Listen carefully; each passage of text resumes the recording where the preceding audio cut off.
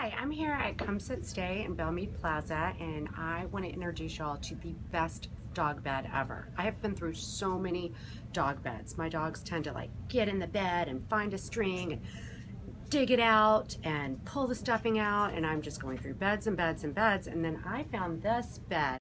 This bed is made out of recycled plastic bottles and it keeps its shape. It is hand stitched cotton twill. It is virtually indestructible. So this is Kai, one of the two beautiful babies that work at Come Sit Stay, demonstrating how amazing this bed is.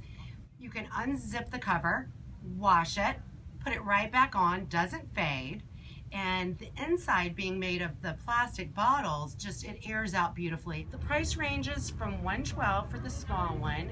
This one I believe is 215 and as you can see, it's plenty of room for this big baby.